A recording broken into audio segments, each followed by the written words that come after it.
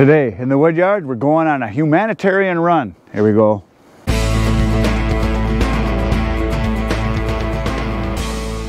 Yesterday, when I finished, I had cut all these rounds out from the piles that were back here, so I finished that. And my plan was today was I was gonna split this pile, but plans have changed. I'm going to visit my mom and dad. My mom is going through uh, cancer treatment for the third time. She's not doing too good, so I'm gonna go spend some time with them and I'm gonna be helping my dad out because my dad has got a bad arm and he can't really lift his wood that he's got anymore. He's got uh, pretty big rounds. I'll show you when I get there. He always cut his wood huge because he's got a, a wood stove in his basement. I'll show you that when I get there. And he always was able to fill it no problem, but now he's got a really bad arm and he can't lift with one arm at all. And so he's got to do everything one-handed. So I told him, I said, I've got tons of wood that's small you can pick up with one hand and throw into the wood stove. And so I've got all this locust here. So I'm going to take him a bunch of locusts so that it's easy for him to fill the wood stove because my mom really likes the wood heat a lot and uh, doesn't like the gas heat at all. Number one, because they like to save money. Number two, because it's just better heat and it's warmer. She really likes it. So I'm going to load up a pickup load full of uh, this locust here. I'm going to take it, get it to them so that my dad can fill the wood stove easier. Even though we're towards the end of winter here now, they'll still have fires because my mom likes it warm in the house because she's been losing a lot of weight. So I'm going to go do that today. And when we get there, I'll show you his big nasty wood, his wood shed. We're going to unload this uh, when I get there and then I'll show you their wood stove and that's what I'm going to do today. So I'm going to get loading this right now. So I'm just to throw in like a face or so. I'm not going to measure it obviously. It doesn't matter because I'm just going to be giving it to them. But we're going to fill it up and then we're going to go for a ride. They live about an hour and a half away from me here and uh, they've got a great big huge old Victorian house that is uh, I think it's like 115, 120 years old, something like that. It's insulated really good, but uh, they do heat with wood, so it burns plenty of wood. And uh, this locust I have here is excellent for heating, so that's what I'm going to take them. And uh, that way my dad can keep the stove going because these are easy to pick up with one hand because the pieces he's got are all like you know 20 22 inches and they're they're big you know they're you'll see they're big chunks and he's got a lot of nasty wood right now that he's been burning and he has a real hard time just getting them in the wood stove so I'm going to uh, take him some stuff that's easier for him to handle. He's just too proud to admit that uh, he's having a hard time with it because he's always he's always done everything himself. And uh, he's always been able to pretty much um, do anything. And now he can't. So he needs some help. So I'm gonna go do the the thing that uh, matters most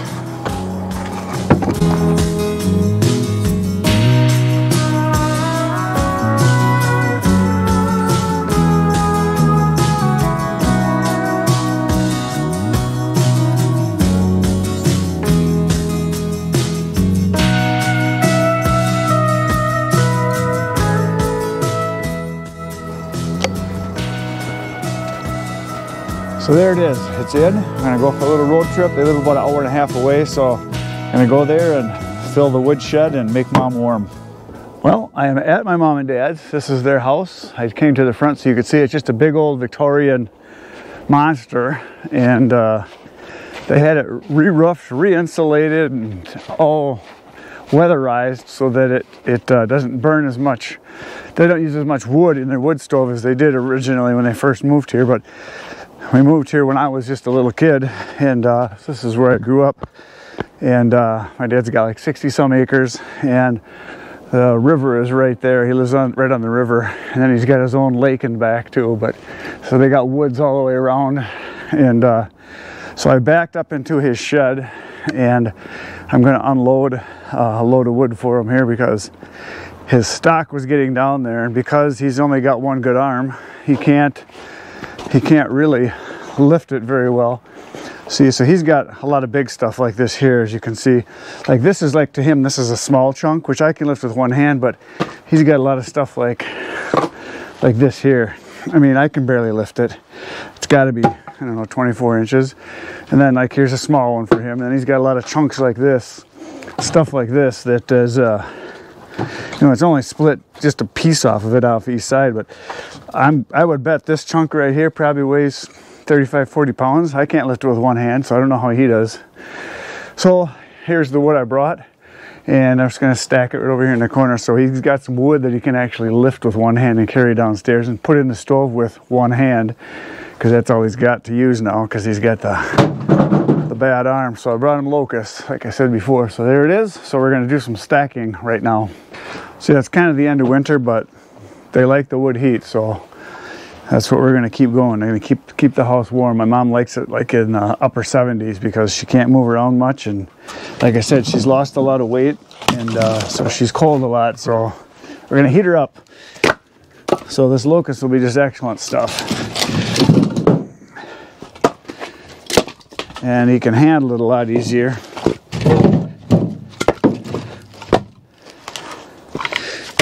I'm going to take some downstairs for him into the basement. I'll show you that in just a little bit. So these chunks are all much, much smaller than his big monster pieces that he always has. So we're going to unload it.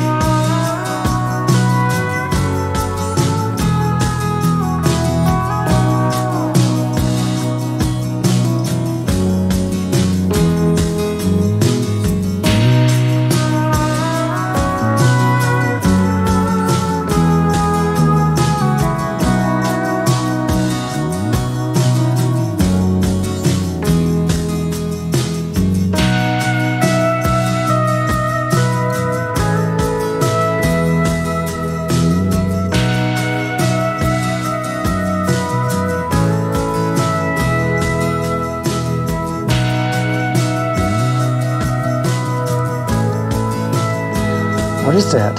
What are you looking at? What are you looking at? What are you looking at? what, you think you're going to get petted again? Is that what you think? What do you got to say? Can you say something? That's my younger brother. For those of you that uh, want to know what the heck the dog is, we call him the favorite child, and he's my dad's favorite. He makes an egg for him every morning, my dad does. And uh, when I was a kid, I, my dad never made an egg for me. But for the dog, he gets an egg every morning. But he's a good boy, aren't you, Smokey? So anyway, he came out to talk to me. So here is the wood in the shed. We got it all stacked. And my dad said this is awesome because uh, he can pick it up and with one hand and fill the stove. And he also thinks he might be allergic to the oak dust because he takes it down. He said he gets a runny nose and everything. And but his wood is like these big chunks, like I showed this one right here, pieces like this. I mean, that's the kind of wood that he's trying to lift in with one arm. And sure, they're good for all night burns. You know, those big chunks like this one here, those are great. Um, but if you can't get them in the stove because your arm's not any good, it doesn't do you a whole lot of good. So now I'm going to go down into the stove and I'll show you his wood stove that he's got where he burns his wood here. So here we go. Bought this stove 40 years ago. It, our house is four bedrooms, 3,000 feet. It's a Victorian house, three stories high. And I only paid 250 bucks for this stove 40 years ago. What kind It, is it it? was a it was a Ettrick, Ettrick, Wisconsin, Yeah. and they were kind of had a big name because they're the first with the seat exchange, uh, heat exchangers. There's two pipes that big on top, up on top. Then we get hot and air blows through them, heats the whole house. Cheap. That, it's a warm day. They just got a small fire going around, but it's like a blast furnace you fill her up. So Ash right here. that's your ashtray. If you're burning uh, ash wood, it fills up in three days. Oak a little less, but ash I think was named after ashes. Yeah. Another one, elm is just just like a lot of ashes. And show him your customization on the back. Oh,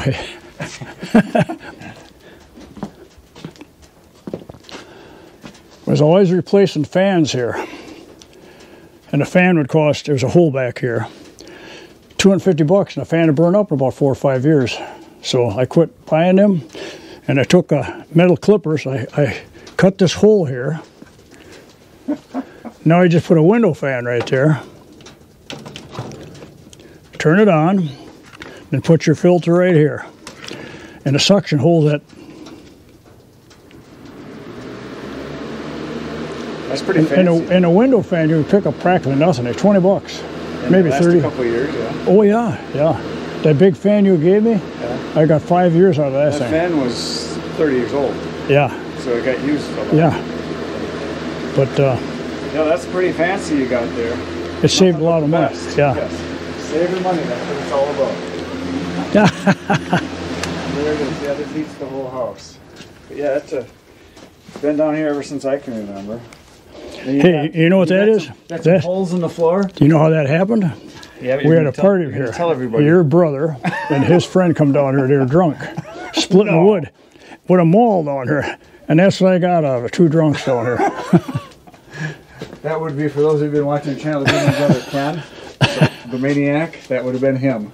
That was me. Kenny, yeah. So now uh, you're gonna burn till when? About another month? Maybe a couple weeks, middle of March, I'll quit. Yeah. And then you just depend on the. That, that just kicks right in, so, yeah. I bought this in uh, 85. It's like brand new yet. I had a furnace man, well, 85 now, how much, how many years is that? 20, 35 years. Yeah. The furnace man come and he says, it's like brand new yet, don't you use it? I said, yeah, once in a while when I'm not burning wood. Yeah. I said, that costs money. so that's the story on my heat. So there you go. That's the stove.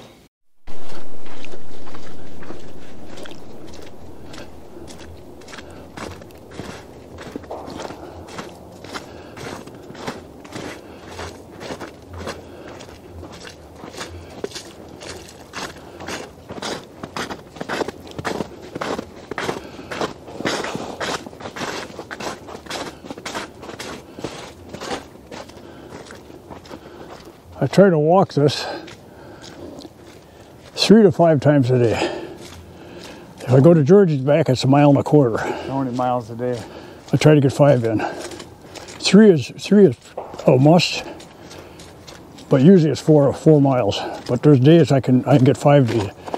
I had her up to six miles, but then on five and four, I try to average five.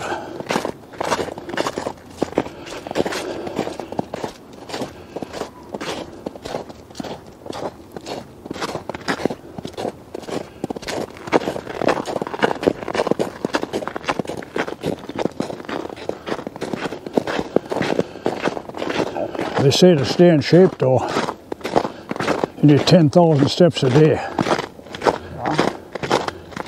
Would that be 10 miles? No. No, no, it wouldn't be.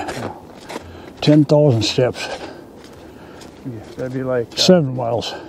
you do three feet per step. That'd be 30,000 feet. And there's 5,280 feet in a mile, so that'd be about six miles. That means you don't do anything the rest of the day. You just sit in a chair. Yeah, that's the bad thing about it.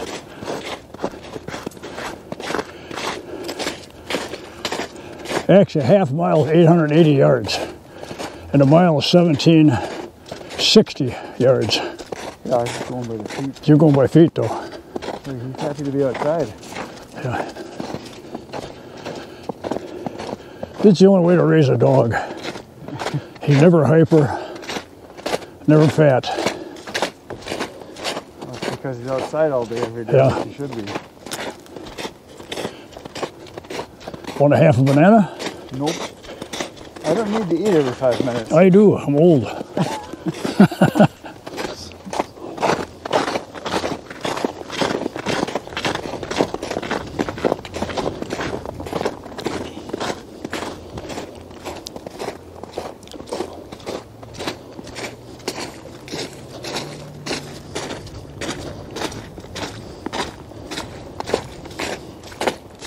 Think the cold, cold weather for the year is pretty much done now.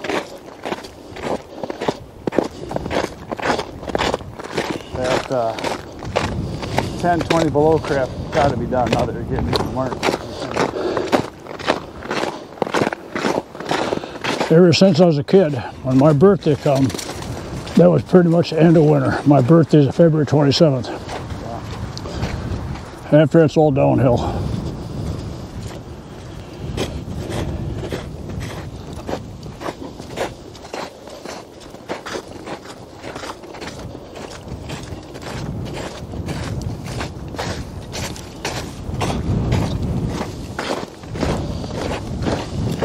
Oh, Christ. Will he eat a banana?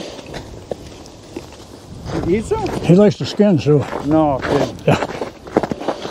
It's a weird animal. That's a white pine. Keep that baby. There's a white spruce. Keep him too. Now here, Scotch pine. Cut every one off. They're bad firewood. They get about that big and they tip over. Yeah.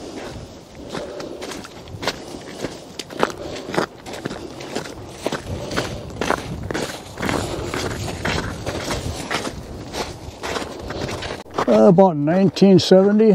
Started planting trees. Yep, but it's pretty small time though. And I just had sheep too. Plus I was a brakeman in a mill. Now this patch right here is only about four years old. There's just a half acre here. There's 500 trees in there.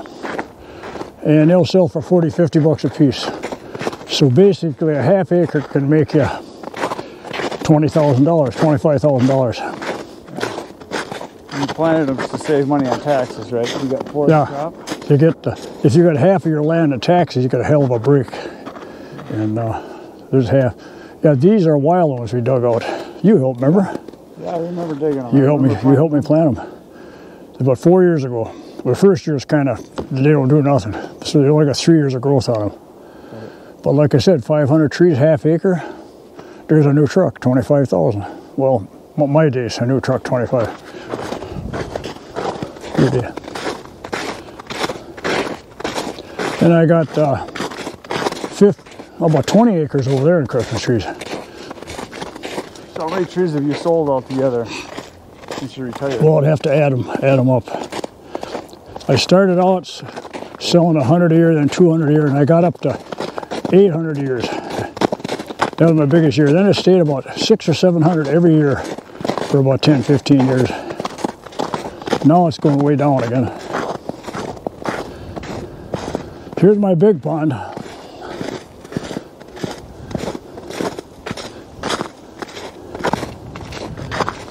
That's uh, seven acres. Here's a one acre pond full of bluegills and bass.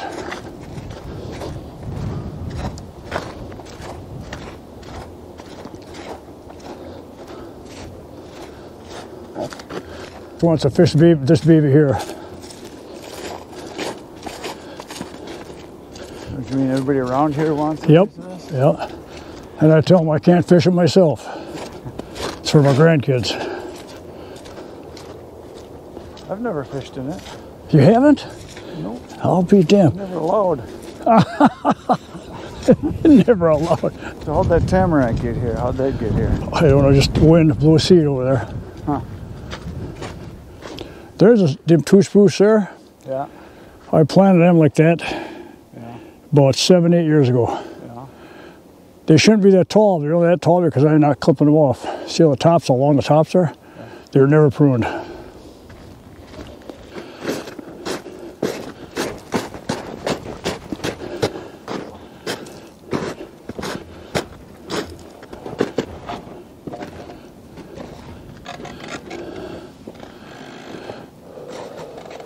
This is the easiest way to make wood here. You cut it down right here. You can only do this if you own the land. And you pile it right there. No hauling it. Cover it up and don't haul it until it's dried. No labor. Look at the labor. Otherwise, you haul it in stack and then you're hauling it all. This way, you haul it right to the, or selling it too. If you can leave it. How much stinks there right there? How much? We got two rows. Yeah. I don't know. Step step it off.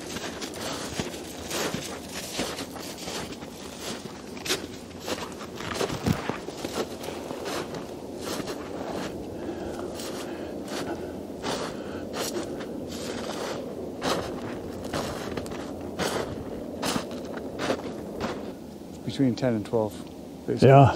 I figured about 11, 12 cords, about the same. Yeah, it's, it's higher than four foot high, so you got to Yeah. allow that little bit of rib on top. What I like when you split nice and fine. One guy, one arm man fine. can use. Yeah, this isn't this is nice. This is the size stuff that's nice. But these these red oaks are dying too. What's nice about there's enough white oaks sprinkled here and there will be okay. Yeah. Well, there's a maple right there. Yeah. Yeah. There's a few other trees. Thanks for watching, guys. I'm just spending time with my dad today. It was pretty nice just being outside and walking around and listening to him talk and show me his favorite spot on the planet. Thanks for watching. See you next time. Good night, Irene.